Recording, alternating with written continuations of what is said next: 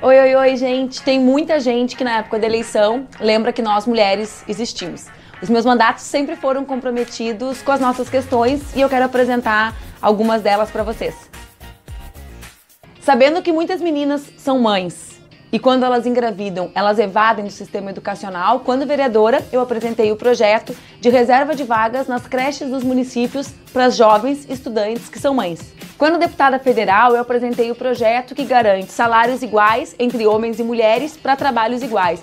É incrível, mas em pleno século XXI, as mulheres ainda recebem salários menores que os homens para desenvolver o mesmo trabalho. Como presidente da Comissão de Direitos Humanos e Minorias da Câmara dos Deputados, um dos temas mais sensíveis que nós enfrentamos foi o do combate à situação análoga ao trabalho escravo. Como vocês sabem, essa situação acontece de forma muito mais numerosa com as mulheres.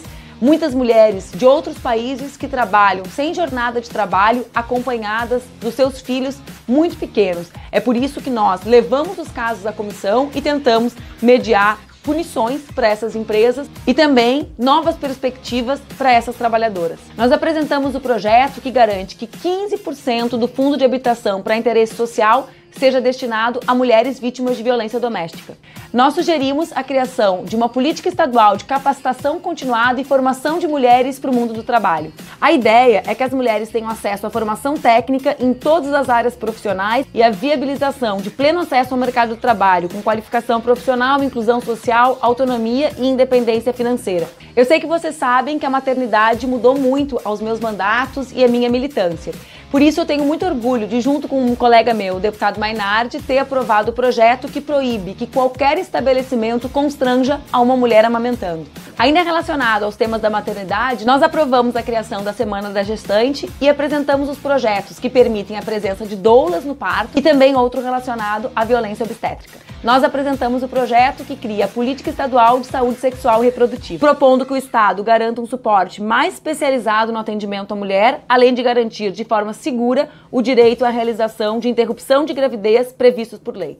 Aprovamos a criação de um cadastro com agressores de mulheres, depois dos casos já terem trânsito em julgado, possibilitando acesso rápido à consulta por parte dos órgãos de segurança. Como para mim participação é algo muito importante, eu hoje sou procuradora da mulher da Assembleia Legislativa do Rio Grande do Sul, mas esse trabalho é realizado com dezenas de mulheres que atuam em todas as áreas e isso tem nos permitido realizar um grande trabalho. Como procuradora da mulher da Assembleia Legislativa do Rio Grande do Sul, nós realizamos dezenas de seminários com o tema Educação sem Machismo.